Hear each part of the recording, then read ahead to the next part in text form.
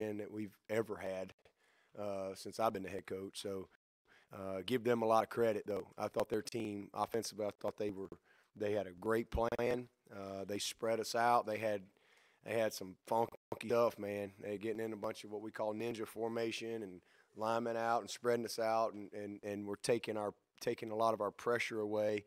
And then uh, we didn't line up very well consistently. We had a bunch of busts. You know, like I said, just uncontested throws, a bunch. And uh, so we got to get that fixed. Uh, but you win by three touchdowns against your rival. That's a good day. Uh, and and you had all those type of mistakes. So we got a lot. They didn't. They couldn't run the ball very well.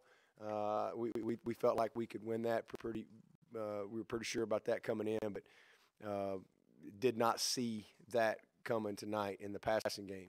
So, but at the end of the day, again, you win by three touchdowns, and and uh, and you come out of it with a lot to correct. I think that'll make us better for the postseason.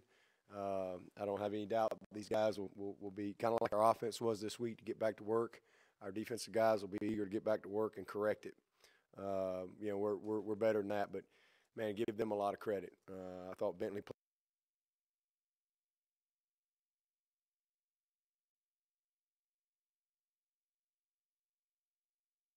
did a heck of a job of, of just keeping staying in the game and giving them giving their team a chance. Uh, but at the end of the day, we were just we, we were just too strong on offense, and uh, and just really did a good job taking care of the ball and and uh, doing what we needed to do. So uh, a lot of good things. Uh, so we'll enjoy this one tonight and get ready uh, for next week. this is another opportunity to make some history. You know, four ACCs in a row that hasn't been done. Uh, and ironically, we get to play Pitt, and that's that's these seniors, these seniors that got their 52nd win today, and a 53rd win is the most in college football history. Uh, and ironically, they got a chance if they can win the game to get it against the one team that beat them here at home uh, in their last ever ACC uh, matchup. So we'll be uh, we'll be eager to get back to work on Monday. The players, uh, we'll get back in here tomorrow as a staff and and get started on our plan. We're excited about uh, representing the Atlantic uh, in the uh, ACC championship and uh, a great night in Charlotte. So I know we'll have a great crowd up there, and and again trying to trying to win our 18th title and get back to the playoff. We all know what's at stake. Uh, so we've got to. And again, the good news is we haven't played our best game. We haven't even come close to playing our best game. Uh, we've got a lot that we can continue to improve on, and and we'll do just that. Um, but uh, proud of our team, pr- proud of our staff, and uh, you know just amazing accomplishment what this team has been able to do. Any questions? Coach Trevor Lawrence just continues to, to break records as a freshman, uh, setting the, the all-time Clemson record for passing yards against the Gamecocks. Uh, how, how special was that? Yeah, I didn't know that. Uh, so that's, that's the all-time record. Uh, yeah, he's he's uh, they might have set a record too. I don't know what the other side was. It might have been two records tonight. Uh, uh, was it two records? Yeah. Well, there you go. So uh, they they good thing he had that night. Uh, it was a great night.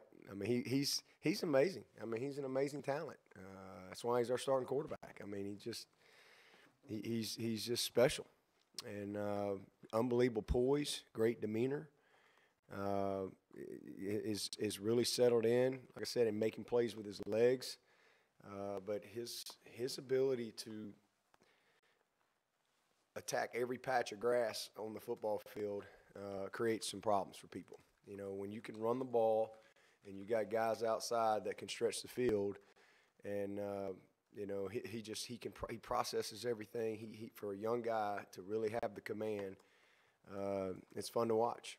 I mean, it, it's just especially. That first touchdown he threw to Tee Higgins, wow. I mean, that was an absolute rocket. And, uh, you know, he's just going to get better. He's just going to get better. He's not going to get worse, that's for sure. How difficult is it to balance the positivity offensively with what you guys went through defensively? We won in the game. That's that's the objective. You know, I mean, we're 12 and 0. We won by three touchdowns. So, uh, I mean, it doesn't matter. Every single game that we play, we always got stuff to correct every week. Uh, but for us, uh, we worry about that tomorrow. You know, tonight is about celebrating the objective. Uh, that's to win the game. Scored 56 points, and uh, like I said, you, you, you, win your state championship by three touchdowns. uh, it's all good, man. It's all good. And and even when even the mistakes that you have to correct, um, you know, we we it gives us an opportunity to get better. You know, so uh, we we've not coached a perfect game. We haven't played a perfect game, but we keep, keep striving for that, and we'll keep working. But it's not hard to bounce that at all. We we won. I don't care if we win 65 to 64. If we win two to nothing, it's it's a W, and uh, they're all the same. You don't get you don't get an extra win because you won by three touchdowns, and you don't get minus a, a one because you only won by two points or whatever. Uh, they all count the same. How much were the defensive problems with the safeties just not getting lined up? Uh, well, we're gonna watch the tape tomorrow, but yeah, we just misaligned a bunch, and some of it was formation. They did a bunch of some some unique formationing things, uh, especially with what we call that ninja package, and uh, which which you know really you know kind of confused us in a lot, lot of ways. But uh, and then we didn't do some of the basic things right either. Uh, so you know we'll go we'll go to work tomorrow. We'll correct it and we'll get better. We'll get better. Was K'Von, um, was he healthy or? Yeah. he- There's nothing wrong with him. Why? I just, he, there were some stretches he didn't play, and I was just curious. No, he played bad. We took him out. That's what I was wondering. yeah, you got to play well. Yeah, you don't. You got, I mean, you can't just go out there and stink it up and get to stay in the game. It don't work that way. You got to play well. So thought Denzel came in did a heck of a job. Uh, he did a nice job, especially on that. We had two goal line stands. Denzel had a nice play, but yeah, I mean, we just, you know, he, K'Von's not going to be real happy with that tape. Straight games without a turnover. How nice was it to see J.D. Davis come up with his first career interception in his last game in Death? Yeah, it was awesome. Uh, was that his first one? I, I didn't know. I, th- I thought he had one other one somewhere, but uh, that was awesome. Big play. We didn't capitalize. Uh, we had, had we had Maury called for the push off, and then we dropped the touchdown, and then we missed the field goal. Uh, so we didn't we didn't get the the uh, the points off of it, but we got we, we got time and possession and all that stuff, and uh, and some field position. But uh, that was a great play by JD. Tre Tre was sore. Tre's ankle wasn't quite. He just didn't feel confident to be able to do what he needed to do. So we went with JD and thought JD did a good job. Yeah, but do you think um, Christian Wilkins deserves serious Heisman consideration? Seriously, and what did you say to him when he uh, did the pose thing and got the penalty? Oh, I said he'll never run the football again uh, if he ever does that again. I took him out. I took him off of kickoff or field goal team because you know that's selfish, and I told him don't forget who he is and what he represents. Uh, it was disappointing. I mean that's, I mean you're kicking the ball from the 20 against an offense that we really hadn't done a good job of stopping, and now you're going to give him great field position. So it was that was that was poor decision on his part, uh, but a great run, a heck of a run. Uh, but he needs to he needs to, you know, understand that he sets the example for everybody, and uh, we don't do that. It's not what we do. That was a foolish penalty. Shouldn't have happened, and uh, you know, so he apologized and moved on. First part of the question, though, do you What was the first part? Oh, Heisman. Yeah. Oh, I mean, come on, they ain't gonna give him the Heisman. Uh, I mean, I think he's a great football player, but uh, ain't nobody gonna give a D tackle the Heisman. I mean, it's great to talk about, but um, I mean, I think he's as good a football player as there is in the country. I mean, if that's what you're asking me, but he plays D tackle. Uh, when's the last time a D tackle won the Heisman? Never. Uh, yeah. Where's Tim Murray when you need him? Uh, he probably doesn't have the Heisman history, but you know, I, I, I, think he's as good a player as there is in the country. But whether or not people would vote for him the Heisman, I, I you know, I doubt it. Deshaun Watson don't win the Heisman. Uh, Christian Wilkins ain't gonna win it. Come on, uh, Sean should have won it twice. This team's changed so much from week one to now. Just what is the growth of this group been like to be 12 and 0 and be where they are, but still have a, a high ceiling ahead of them? Yeah, just just focused. I mean, they've stayed focused. That's hard. it is hard. You know, you're dealing with young people, and and to for them to just stay locked in and and, and just fixed on what's directly in front of them, week in and week out, regardless of the opponent, regardless of where you're playing, regardless of all, all these things. That's hard. And so just just their just overall maturity. Um, you know, we, we've got a lot of young players that have gotten a lot of experience this season. We we've we're much more seasoned team than we were when we started this season. Um, we've gotten, you know, um our veteran guys have done a great job, but just, you know, guys like Xavier Thomas, guys like Justin Foster, uh, Lynn J, Justyn Ross, you know, all these guys back in the beginning of the year were just kind of, you know, coming on. Trevor.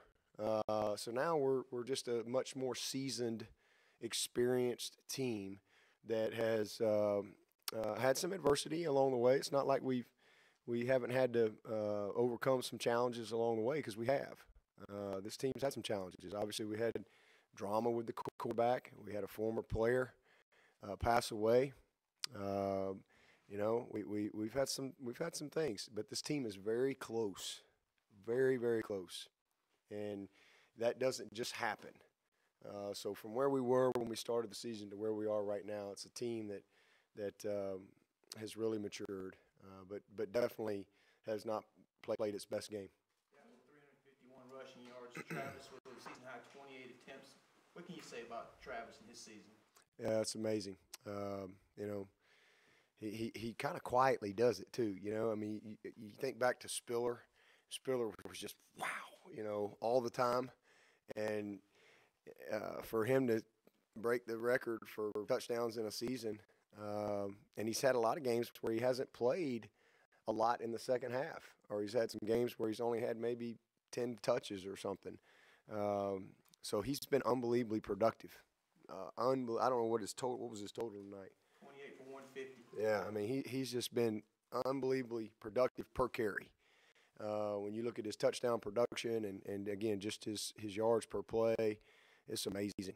Uh, but he's he's just a he's become a a, a a leader for us and a guy we trust. He's a very complete player, and we just have a really good combination.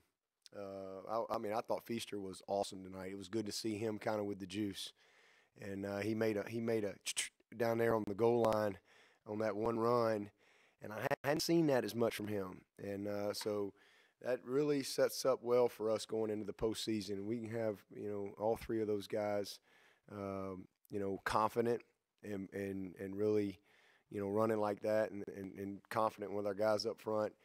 Um, we'll have a chance to have a strong finish. I think Brent said at various points this season that K'Von's maturity and preparation probably needed to improve some. Is that kind of where his performance come from? Uh, yeah, probably. Uh, you know, I mean, this, like I said, he's a competitor and he's a very good player. He's a very good football player, but he had a bad night. Um, and as a competitor, he'll respond. Have there been any teams that have tried to execute game plans similar to what South Carolina tried to do on offense earlier in the year? Or is this the first y'all kind of seen what they tried to do? Now, we hadn't seen many offensive linemen split out there uh, as wideouts. We hadn't seen many of those formations. Um, you know, really, like I said, positioning took us out to where we it kind of negated some of our pressure, uh, and then they made some plays. You know, made some big plays. It's a good job. Chance you uh, got an update on John Simpson? Oh, he's fine. He came back. He was fine. Coach, do you, do you have thoughts about going for a fourth consecutive ACC championship on the ten-year anniversary of your being named head coach here? Uh, is that is that right? Is that December first? Who would have thunk it? Uh, man, who would have thunk it? Uh, I didn't know that. That's awesome. Uh, so that's December one. Wow. Uh, well, I, I'm I'm that's pretty cool. But uh, I'm more excited about being able to go for our fourth in a row. I mean, I just think that's amazing. It's amazing, you know. And uh, for these seniors to to say they came to Clemson and went 27 and one at home, and 19 and one on the road, and won four straight ACC championships, and went to four playoffs. I mean, that's unbelievable. It really is, and the credit goes to the players. I mean, they they they got to get it done. They they've got to buy in. They got to put the work in. You know, they have to they have to make the sacrifice and and, and, and the preparation and, and uh, you know the leadership and just all, all that stuff. And um, and these guys have done that.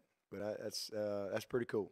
That's pretty cool. Fact that you're playing, playing your fourth different coastal opponent in the ACC championship game is just illustrative of how consistent your program has been. Um, yeah, I mean, I, I, I- I think just, I mean, I, can't speak to the other programs, but for us, I mean, that's that's kind of what our goal was. Uh, you know, going all the way back was to just build a consistent program, and um, and and we've been able to do that. You know, I, I go all the way back to 11. Um, you know, like I said, we won the first 10, first 10 game win season, and we won our first league championship, and it was like, you know, it was great, but I'm just my message to the team: let's just kind of keep our head down, guys. Let's just let's let's see if we can go get three, four, five, ten win seasons in a row. You know, we we need to become. Nobody's going to consider you to be great at anything if you're not consistent. You know, greatness comes from consistency and longevity, doing it over a long period of time. So I think that um, I think we're a great program, and I think we've earned that through consistency because uh, it's earned. Nobody's going to give you that. You got to earn that, and we've done that with a bunch of different players uh, and a bunch of different coaches and and so forth. So that's that is what I'm most proud of is the consistency that we've had, not just on the field but off the field. You know, I mean, we've been top ten academically seven out of the last eight years. Us, Duke, Northwestern, and Stanford. Uh, so not just not just on the field. It's not just winning; it's how you win. And uh, so uh, the consistency is is special, and hopefully it's something that we can continue to do. On that last offensive drive, was that thought to, to sitting on it, or as opposed to, to running it in for a touchdown? Uh, well, we just handed it off, and I mean, I can't help they didn't tackle him. Uh, I mean, we just handed the ball off right up the middle, and uh, so we were just playing ball. Can you educate us on disconcerting signals, what, what that is? Oh my gosh, uh, yeah, it, it, it was. You know, we make a lot of calls defensively, and you know, move calls and things like that, and guys stem from one front to another, from one gap to another gap, and all that. And that's that's normal defensive football. But Clelin did a monkey roll, you know, a butt roll, and he, he don't need to do that. And that's what they called. I thought it was a little silly to make that call. Uh, you know, I think I mean it wasn't. You know, just go over and tell him, hey, don't be rolling when you move. Just move. And but he he you know Nobody's ever told us that's a rule. Uh, he, he made them. He moved. He just he just did a he just did a seat roll. Uh, and um, first time we've ever had that call, but great opportunity for Clelin to learn. You know, don't don't we call it monkey rolls? Uh, don't monkey roll. Don't do it. Just move. That's what I told. Him. I was like, "What are you? What are y'all calling? We we they we stemmed." And he sent us what he said. He said, well, your defensive end rolled outside. oh, okay. All right. Well, we'll buy that one. Uh, yeah. Uh, can't do that. All right. Thank y'all. Appreciate it.